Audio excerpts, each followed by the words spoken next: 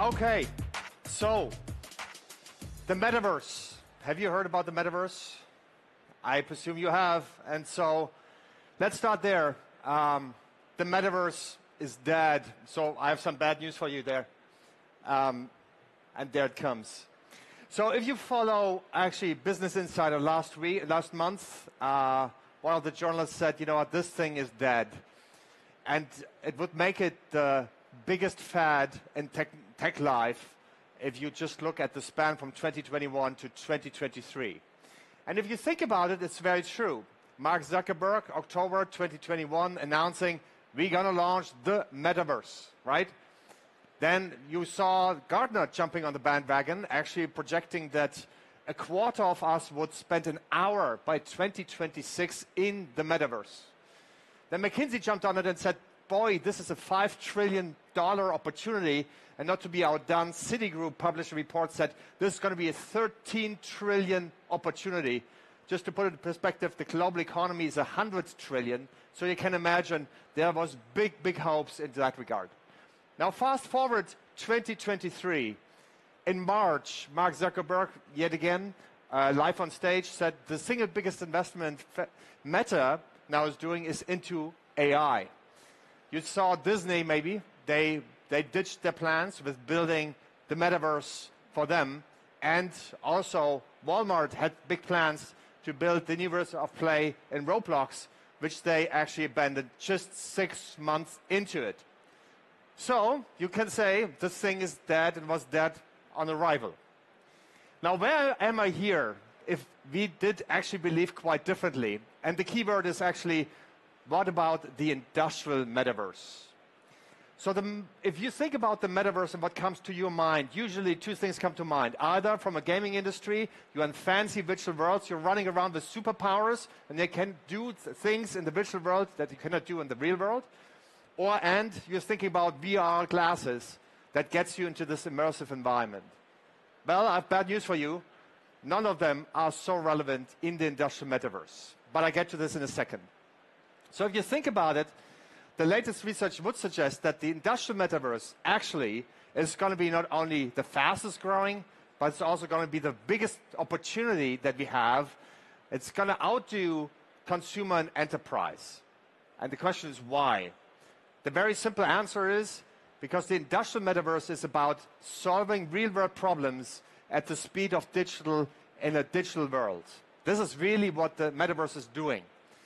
Now you can argue, well, is that thing already there or is that just a pipe dream?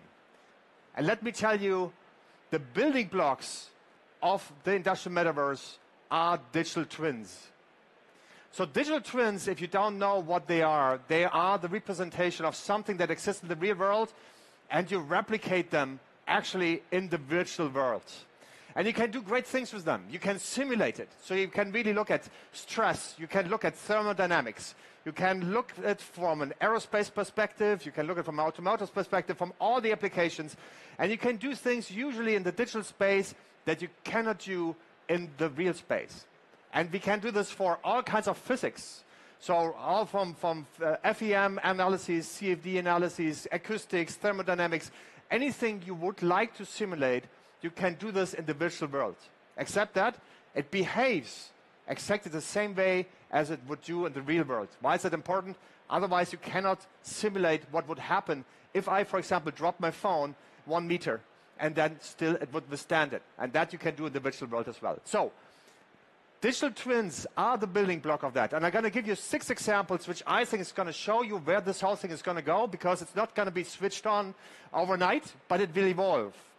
And the most obvious one of a digital twin actually are products. So you can build a product, a digital twin of a product. So let me give you an example of Unlimited Tomorrow, a company that is the world market leader in building prostheses. So if you don't know, there's more than 50 million people around the world that suffer from limb losses. If you have a mean of, uh, of the means of building and designing prostheses that fit to you, so that the socket, so the interface is really neatly working, then you have something really done good for humanity because trust me, these people are suffering big time. And you can see it in her face. That's exactly the face that you would like to see of how technology with purpose can make a difference in humans and their daily lives. So using digital twins, you really can reduce the cost also by 90% by doing the build-up in the virtual world. Now, what you can do on product side, you also can do in production. So we at Siemens, for example, we produce a lot of things. And we said, you know what, why don't we drink our own champagne? Let be the customer zero. And let's build our own factory, which we just did. Totally digital native. We built it digitally before it was actually built in the real world. The nice thing about this is it is 20% more productive and as you can imagine, 40% more flexible. Why? Because you can simulate. You can look at, you know, how is the outlay of or the, uh, the uh, out the, uh, the design of the factory. Where's the machines going to be? How's the material flow going? Where are the workers? How can you educate them? This is massive in the production world. So that's production. But the good news is it's unlimited of what you can do with digital twins and eventually also with the metaverse. For example, you can really simulate entire city districts. We all know we really have to do something for the planet. We know that the fight against climate change is going to be won or lost in cities. So we really have to get this going in city districts. We have to rethink of how we plan and build cities. So digital twins are means of really simulating of how entire city districts will behave to become carbon neutral when it comes down to not only where people live and work, but also how their whole energy consumption is going to work with regards to heat pumps, EV charging, everything. You can simulate the entire grid as part of that canvas in that very city. And we're doing this in Berlin as we speak in order to build that next generation of cities. Something that is really cool, though, I have to share you, this is my fourth example now. If someone of you is a diver, and if you've seen a coral reef dying, this is definitely heartbreaking. The great news is you also can apply, this is how it looks like, but this is how it should look like. So with digital twins, you have the means actually to simulate also the environment. And so now we can run simulations with regards to how the island or the atoll would work with regards to its coral reefs in terms of the temperature, the currents, how everything would be flowing, so that we can then deduct from there how we can save and improve the environment by removing dams, barriers, all of that, so that we actually can really make a significant contribution to this planet. This is the power of digital twins yet again.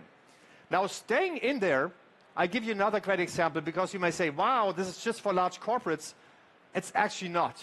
It is actually also in particular for those who get started. So let me tell you this story about Nemo's Garden.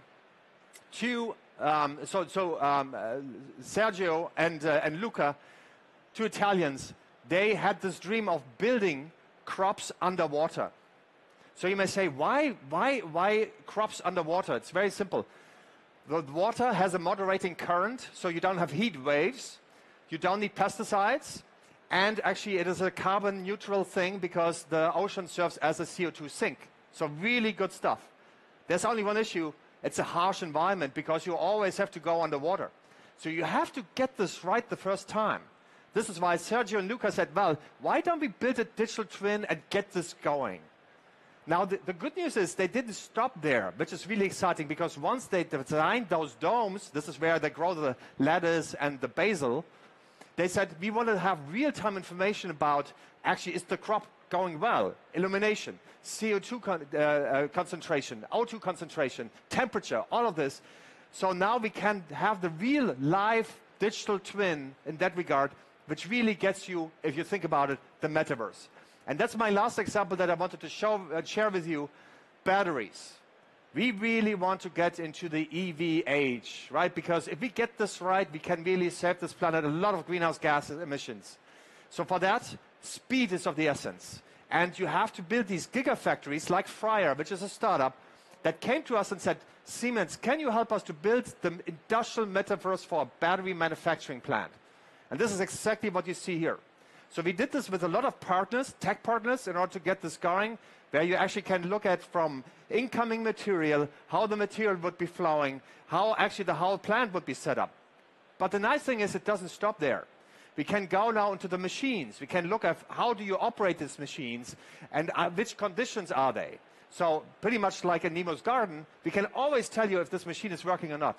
But we don't stop there. We can go to the chemical part of it, and with gPROMS, we can actually simulate all the chemical processes that come into it, and then take it all the way to the end production. And we have a, a booth here. You can take a look at there. There's a lot of good tech that really shows you of how we can build these gigafactories, and some of them will be coming to Canada, will be helping us to speed up, of course, the energy transition. So these are great examples, I hope you would agree, in terms of how we get this metaverse going. So the key question is, will this be an evolution or is it a revolution? And you can imagine, we think it is definitely an evolution. If you think about it, and if you go 30 years back, how this whole thing got started, with very simple CAD design that was 30, 35 years ago, which was single physics, if you like. This got added then with 3D design and multi-physics, what you saw earlier in the video. Then, actually, it became pervasive. So everybody could work with that in engineering, marketing, production, manufacturing. All of that came together in order to make this work.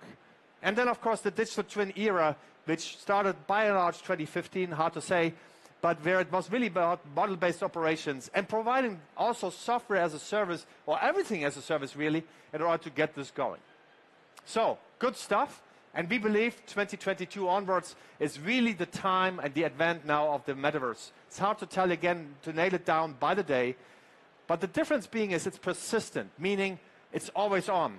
That virtual factory I told you, it's always on. It's always running in the background. It's being fed with new data, new insights, so that you can really derive meaningful actions of how to improve your productivity, how to improve reliability and sustainability as well.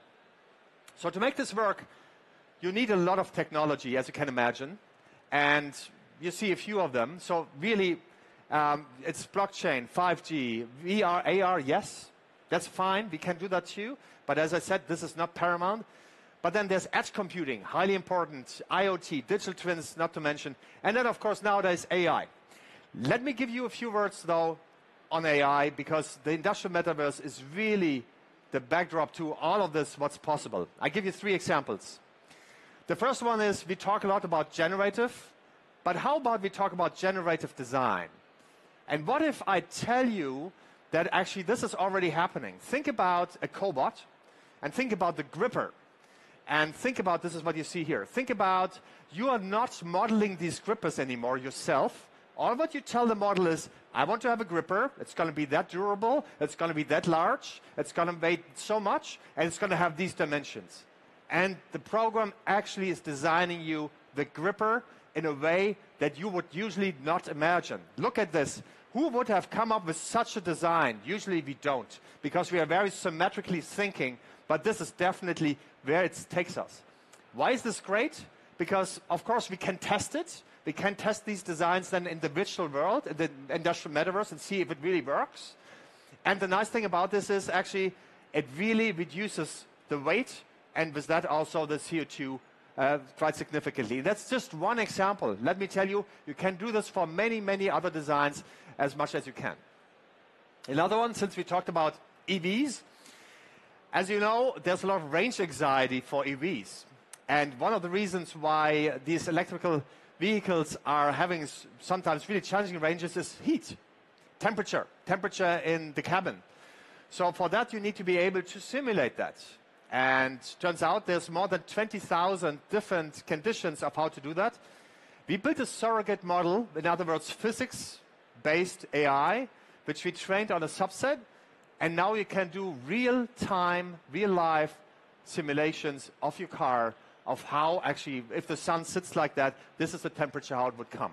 This is really just happening as we speak with regards to all the modeling that is happening.